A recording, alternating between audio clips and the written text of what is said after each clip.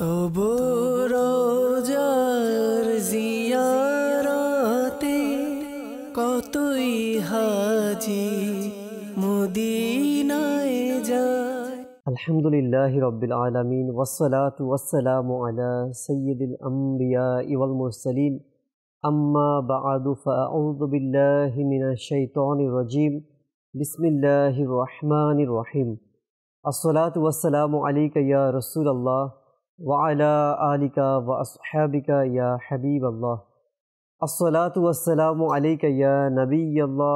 আলা আলিকা ইয়া নূরাল্লাহ প্রিয় মাদানী চ্যানেল দর্শকবৃন্দ, জিয়ারতে রসুল সাল্লাহ আলিহি ওয়াসাল্লামের ঘটনা অনুষ্ঠান নিয়ে আরও একবার উপস্থিত হয়েছি। আপনারা যে যেখান থেকে দেখছেন, আপনাদের সকলকে জানাচ্ছি আন্তরিক শুভেচ্ছা এবং মুবারকবাদ। দর্শকবৃন্দ, জিয়ারতে রসুল সাল্লাহ আলী ওয়াসাল্লামের এই অনুষ্ঠানের মধ্যে যে সকল ঘটনাবলীকে নিয়ে আমরা আমাদের আয়োজন সাজিয়ে থাকি ইনশাআল্লাহুল করিম। আজকেও শ্রবণ করব, কোন বিষয় নিয়ে আলোচনা রাখব ইনশাআল্লাহ। আমরা শুনব, তার পূর্বে আসুন।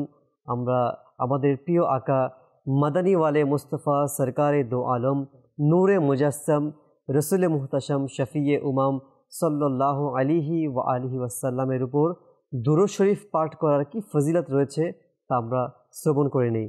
সাআদাতুদ দারাইনে হজরতে ইব্রাহিম বিন আলী বিন আতিয়া রহমতুল্লা আলাই তিনি একবার আরজ করেন যে আমি স্বপ্নে নবী করিম সাল্লাহ তালা আলিহি ওয়া আলহি আসাল্লামের দিদার লাভ করলাম।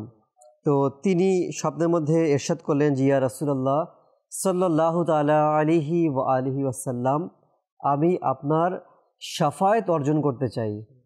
নবী করিম সাল্লাহ আলিহি ওয়াসাল্লাম এরশাদ করেন যে, আমার উপর অধিক পরিমাণে দুরুদ পাঠ করো। সুহান আল্লাহ সুহান দর্শক শ্রোতা আমরা এই বাকিয়া থেকে শ্রবণ করলাম যে, নবী করিম সাল্লাহ তালা আলিহি বা আলিহি ওয়াসাল্লামের দুরুদ এর পাঠের মাধ্যমে সাফায়াত লাভ করা যায়, যা আমরা এই বাকিয়া থেকে শ্রবণ করলাম। তো কার না প্রয়োজন দুরুদে পাকের? কাল কিয়ামতের ময়দানে যারাই নবী করিম সাল্লাহ আলিহি আসাল্লামের সুপারিশ পাবে, তারাই কামিয়াবি হবে। আর প্রতিটা ব্যক্তিরই কিয়ামতের দিন সুপারিশের প্রয়োজন হবে। নবী করিম সাল্লাহ আলিহি আসাল্লামের সুপারিশ ছাড়া কেউ জান্নাতে প্রবেশ করবে না। তো সকলেরই উচিত নবী পাকের সুপারিশ পাওয়ার জন্য হজুরে আকরাম সাল্লাহ আলিহি ওয়াসাল্লামের উপর বেশি পরিমাণে দূরত পাঠ করা। আসুন আমরাও নিয়ত করে নিই, ইনশাআল্লাহুল করিম। আজ থেকে আমরা অধিক পরিমাণে নবী করিম সাল্লাহ আলিহি ওয়াসাল্লামের উপর দুরুদ সালাম পাঠ করব। ইনশাআল্লাহুল করিম, আসুন আমরা একবার এই মজলিসের এই অনুষ্ঠানের মধ্যে আমরা একবার দুরুদে পাককে সামিল করে নিই। সাল্লু আলাল হাবিব সাল্লাহ তালা আলা মুহাম্মদ সাল্লাহ তালা আলিহি ওয়া আলিহি ওয়াসাল্লাম। দর্শক শ্রোতা, আমরা সকলেই জানি এই অনুষ্ঠানের মধ্যে জিয়ারতে রসুল সাল্লাহ আলিহি ওয়াসাল্লামের ঘটনা।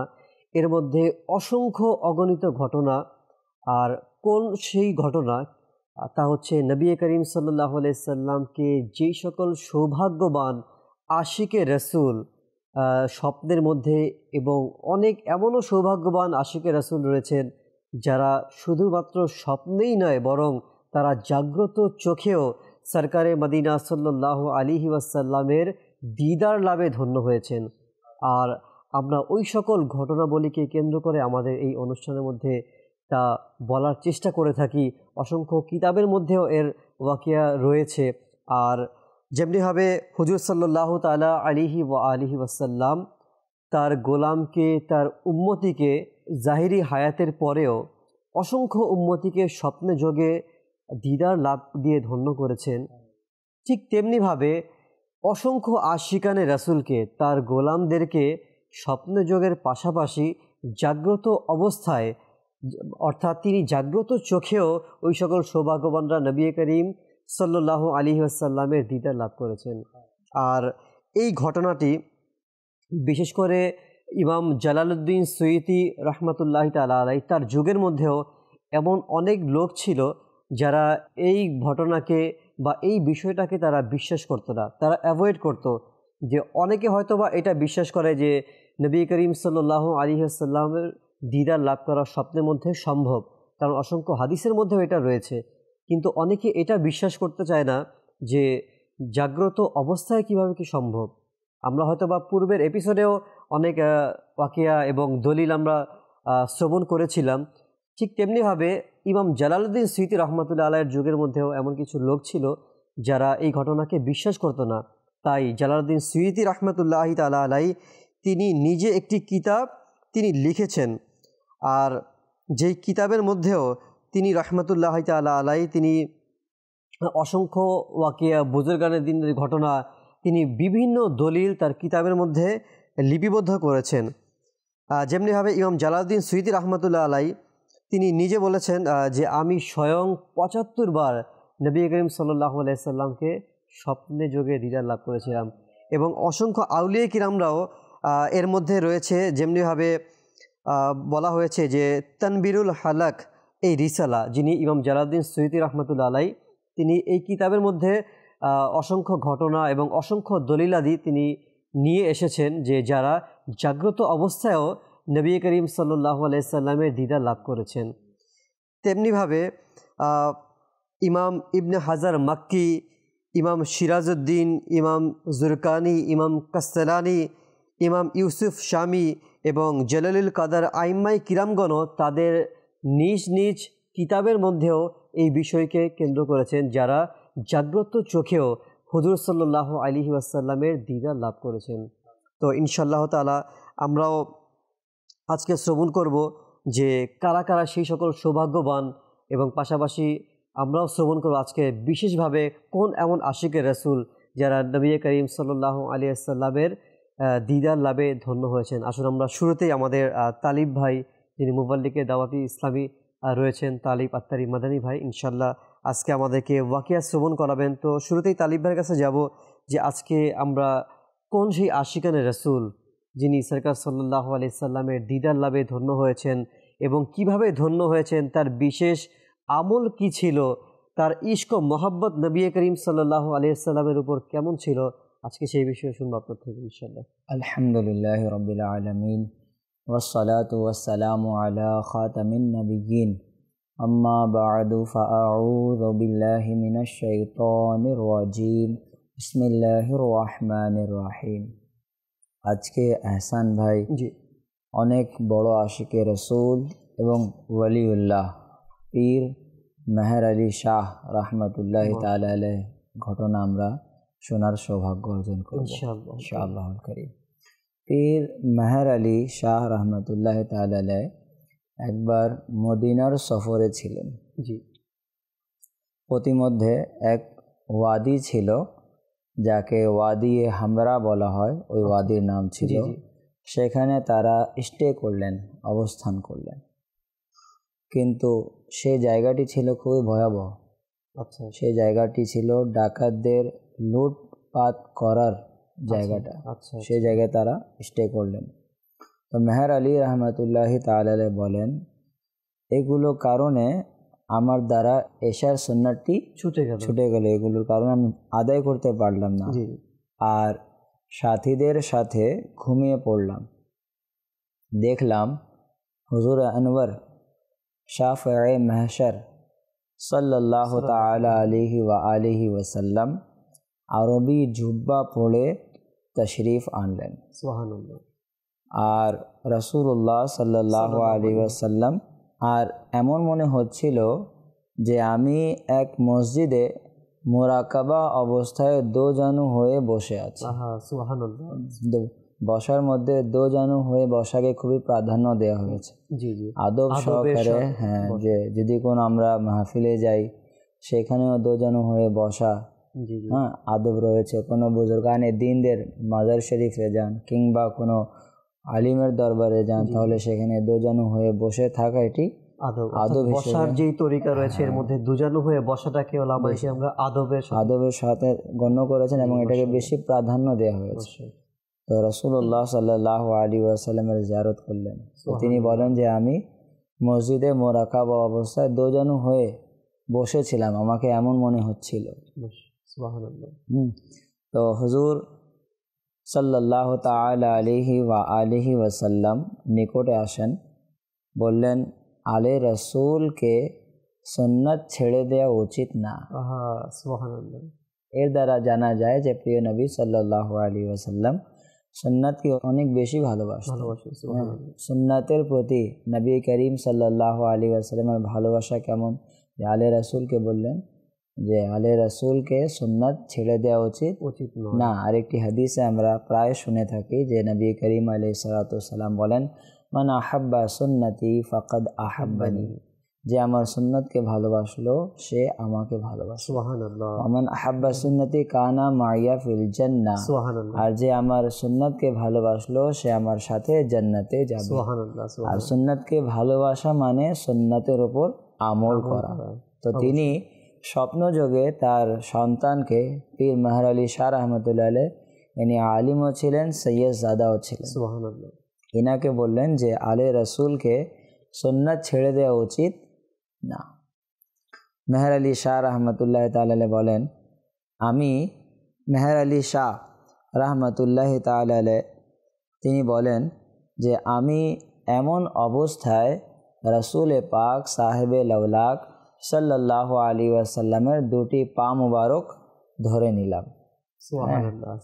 আর প্রিয় নবী সাল্লাহ আলী আসালামের পা মুবারক যখন ধরলাম তো রেশম যে সবচেয়ে নরম কাপড় বলা হয় মেহর আলী শাহ রহমতুল্লাহ তালে বলেন যে রেশমের চেয়ে অধিক নরম ছিল প্রিয় নবী সাল্লাহ আলী আসালামের পা মুবারক।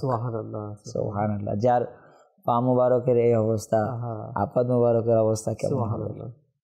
তিনি বললেন যে আমি কান্না করছিলাম আর বলছিলাম আসসালাতু ওয়াসসালামু আলাইকা ইয়া রাসূলুল্লাহ সালাতু ওয়াসসালামু আলাইকা ইয়া হাবিবাল্লাহ। বললাম হুজুর আপনি কে? তো প্রিয় নবী সাল্লাল্লাহু আলী ওয়াসাল্লাম বললেন যে আলে রসুলকে সুন্নাত বর্জন করা উচিত না। তিনি আবার জিজ্ঞাসা করলেন হুজুর আপনি কে? তো এভাবে দুই তিনবার এই কথা চলছিল যে আপনি কে? নবী পাক সাল্লাহ আলী ওয়াসাল্লাম বললেন যে আলে রসুলকে সুন্নাত ছেড়ে দেওয়া উচিত? না। তো এই এরশাদ দ্বারা আমরা জানতে পারি যে সুন্নাতের গুরুত্ব কতটুকু। আজকে আমরা নামাজ আদায় করি আমরা নামাজ পড়ি কিন্তু আমাদের মাঝে কি সুন্নাত বিদ্যমান রয়েছে? আমরা সুন্নাতে মক্কাদা অনেকে পড়ি।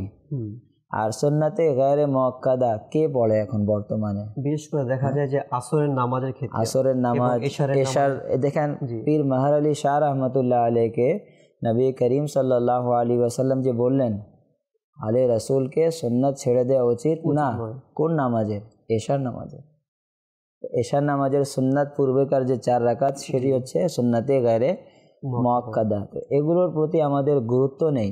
অথচ নবী করিম আলী সালাতাম স্বপ্ন যোগে তার সন্তানকে হুকুম দিচ্ছেন আদেশ দিচ্ছেন যে আলী রসুলকে সুন্নাত ছেড়ে দেওয়া উচিত না। নয় আর এখানে তালিব ভাই একটা বিষয়ে আমরা যেটা বুঝতে পারলাম যে তিনি রহমতুল্লাহ আলাই যেই কারণে সুন্নতটা ছেড়ে দিলেন একটা হচ্ছে তাদের অভ্যাসের মধ্যে এটা কখনোই ছিল না যে নবী করিম সাল্লাহ সাল্লামের যেই সুন্নতকে তারা ত্যাগ করবে বা নামাজের মধ্যে সুন্নত এটা কোনো একটা কারণে আপনি যেটা শুরুতেই বললেন যে এমন একটি স্থানের মধ্যে তারা পৌঁছালেন যে ওই জায়গাটা খুবই রিস্কি ছিল।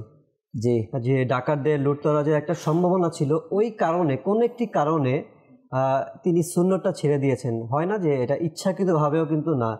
কিন্তু তিনি কোনো কারণে সুন্নত ভাঙার পরেও ত্যাগ করার কারণে নবী করিম সাল্লাহ আলী আসাল্লাম স্বপ্নে এসে তাকে গুরুত্ব বুঝালেন।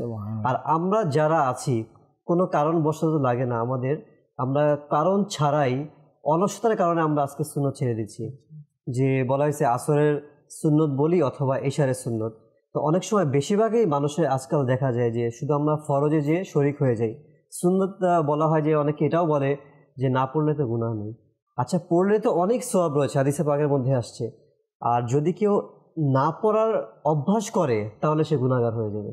একটা হচ্ছে কোনো কারণ আমরা পড়তে পারলাম না কোনো ওজনের কারণে কোনো কারণবশত তাহলে তো কেউ গুণাগার হবে না। কিন্তু যদি সেটা অভ্যাসে পরিণত করে অলসতার কারণ তাহলে তো সে গুণাগার হয়ে যাবে। গুণাগার হবে যদি সুন্নাতে মহাক্কাদা মহাক্কাদা এটা ছেড়ে দেয়। কিন্তু আসর এবং এশার যে পূর্বেকার সুন্নাত এটি হচ্ছে গায়ে মহাক্কাদা। এটি পড়লে সবাব না পড়লে গুণা নেই। হুম কিন্তু সুন্নাতে মক্কাদা যেটি রয়েছে যেমন জোহরের পূর্বে চার রাখা সুন্নাতে ফজরের পূর্বে।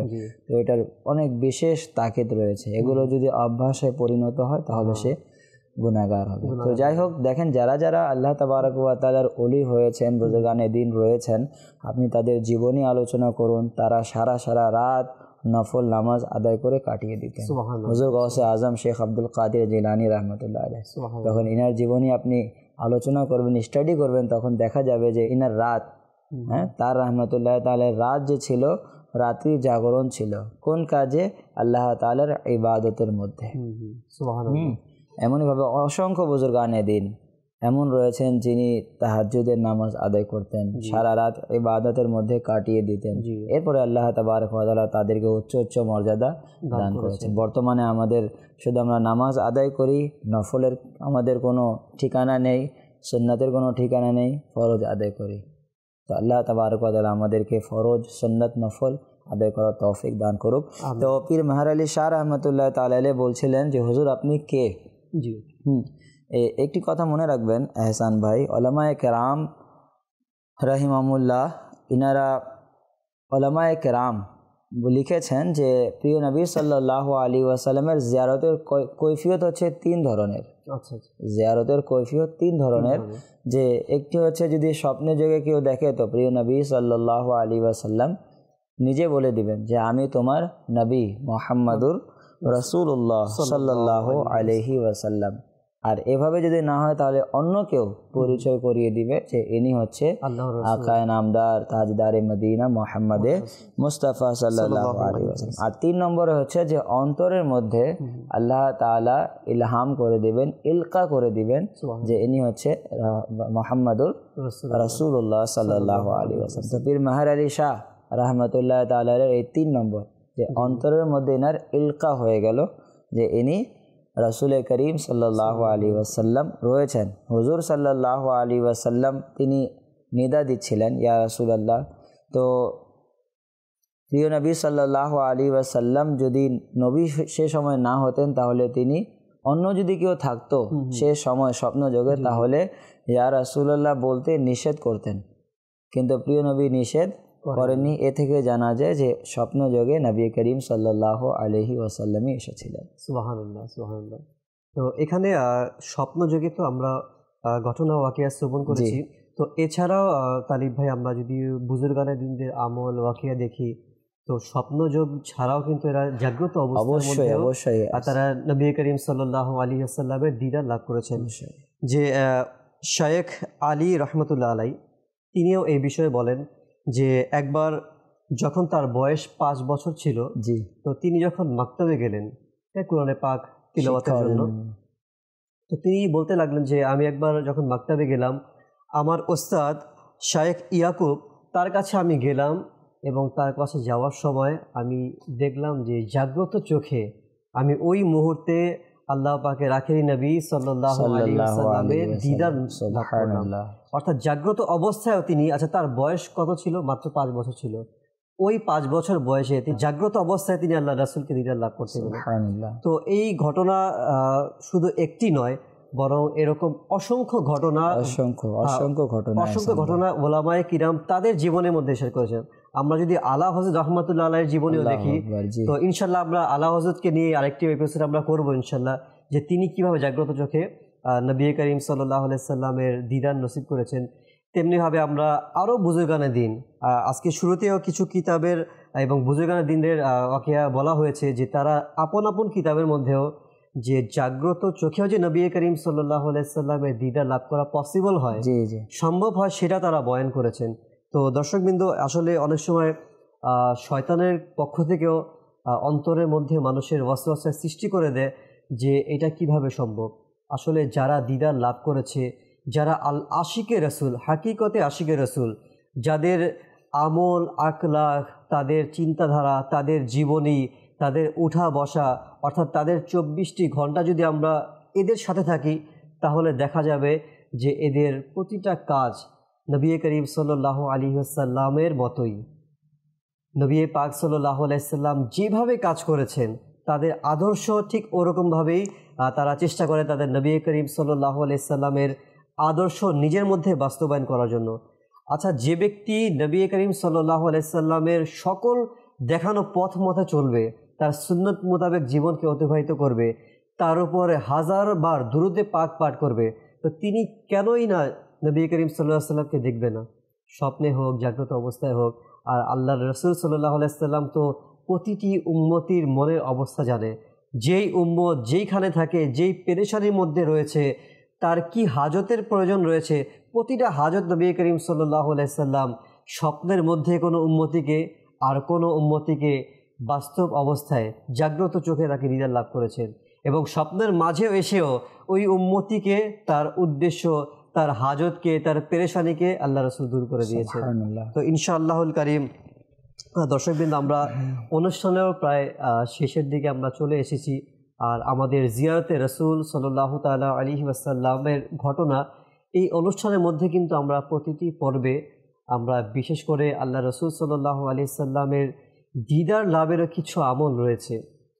আমরা যে আমল যেই ঘটনা ইতিমধ্যে শ্রবণ করলাম পূর্বের এপিসোডের মধ্যে আমরা যেই সকল বুজুর্গানের দিনদের ইস্ক মহাব্বত নবী করিম সাল্লাহ আলাইসাল্লামের উপর কেমন ছিল আমরা জানতে পারলাম। পাশাপাশি কিছু আমলও রয়েছে দর্শক শ্রোতা যেই আমলের মাধ্যমেও আমরা হয়তোবা অসংখ্য আশিকের রাসুলের জীবনের মধ্যে আমরা দেখেছি যে ওই আমল করে তারা নবী করিম সাল্লাহ আলাইসাল্লামের দিদার লাভ করেছেন।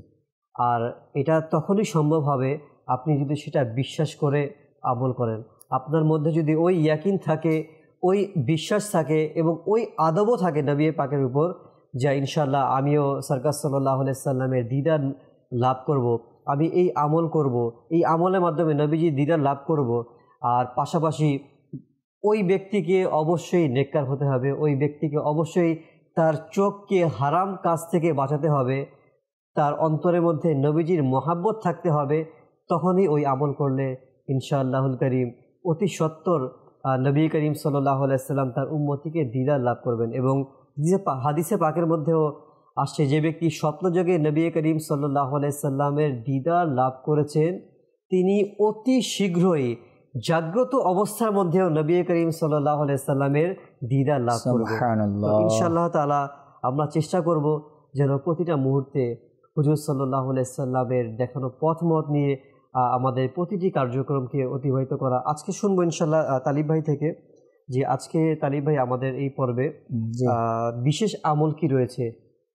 সঈদুনা আবুল আব্বাস আল মুরসি রদি আল্লাহ তালানহ ইরশাদ করেন যে ব্যক্তি প্রতি রাত ও দিনে পাঁচ শতবার এই দুরুদে পাক পাঠ করবে জি। আল্লাহুম্মা সাল্লি আলা সাইয়্যিদিনা মুহাম্মদ আবদিকা ওয়া নাবিয়্যিকা ওয়া রাসূলিকা নাবিয়্যিল উম্মি পাঁচ শতবার পাঠ করবে সে মৃত্যুর আগে রাহমাতুল্লিল আলামিন সাল্লাহ আলী ওয়াসাল্লামকে জাগ্রত অবস্থায় দেখবে। আর আল্লামা নবাহানি রহমতুল্লাহ তালে সাআদাতুদ্দারাইনের মধ্যে আরও কয়েকটি শব্দ আচ্ছা। অ্যাড করেছেন ওয়া আলা আলিহি ওয়া সাহবিহি ওয়াসাল্লিম। আচ্ছা। অর্থাৎ পুরো মিলিয়ে আল্লাহুম্মা সাল্লি আলা সাইয়্যিদিনা মুহাম্মাদিন আবদিকা ওয়া নাবিয়্যিকা ওয়া রাসূলিকা নাবিয়্যিল উম্মিয়্যি ওয়া আলা আলিহি ওয়া সাহবিহি ওয়াসাল্লিম যদি কোনো ব্যক্তি প্রতিদিন ও রাত্রে পাঁচ শতবারই দ্রুদে পাক পাঠ করে তাহলে স্বপ্ন যোগে না স্বয়ং জাগ্রত অবস্থায় মৃত্যুর আগে রাহমাতুল্লিল আলামিন সাল্লাহ আলী ওয়াসাল্লামের দিদার লাভে ধন্য হবে দর্শক শ্রোতা আমরা শুনলাম আজকের এপিসোডের বিশেষ আমল যা সরকারে মদিনা সাল্লাহ তালা আলিহি ও আলিহি ওয়াসাল্লামের দিদার লাভের মাধ্যম হয়ে যায়।